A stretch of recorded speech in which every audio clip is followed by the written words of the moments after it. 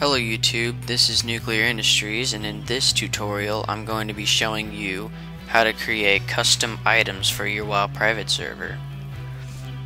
So you're going to want to go to wowvendetta.com or you can use the link in the description and you'll find a page like this. You'll go up here to create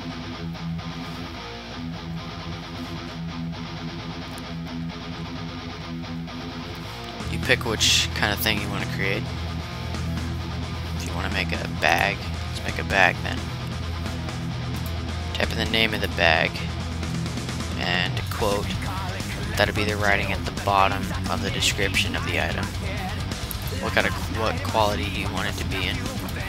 Display ID and the entry ID.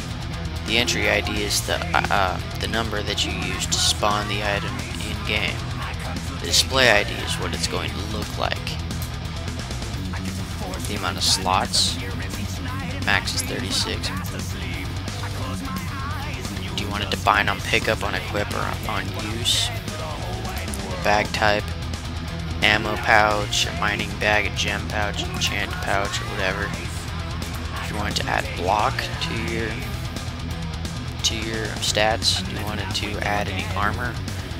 Which classes are allowed to use it, which races are allowed to use it, what level it requires, all the stats that it gives you, and the value, what kind of resistance to magic it gives you, and the bonuses, just, bonuses, 200 plus attack power, whatever. You can add gems, socket gems to them, but I don't think that, but they might, I don't remember. Socket bonus.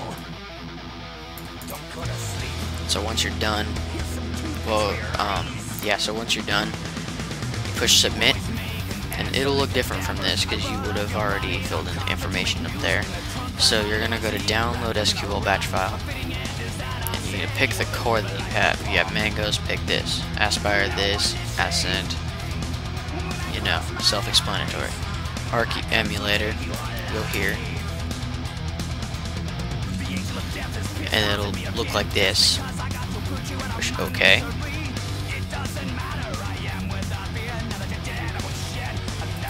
Push connect.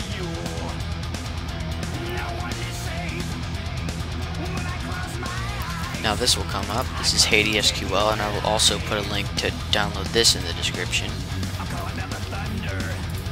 You have to click on world if it's not already blue highlighted already and you're going to do one of two things. You can either push F9 or you can just push this little play button right here. And once you've done that, now see I didn't fill in enough information so mine doesn't work. But once you have done it, it'll work. All you have to do is push F9 or the play button here. And that is how you add custom items to your World of Warcraft private server. Please comment, rate, and subscribe. Thank you.